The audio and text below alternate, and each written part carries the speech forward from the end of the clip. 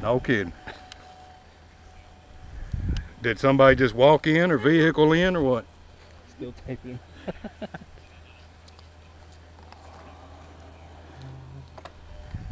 Well, they ought to be able to track it because they can tell me how much audio? fuel's in it. Yeah, it's got audio on it. Somebody needs to be calling John Deere right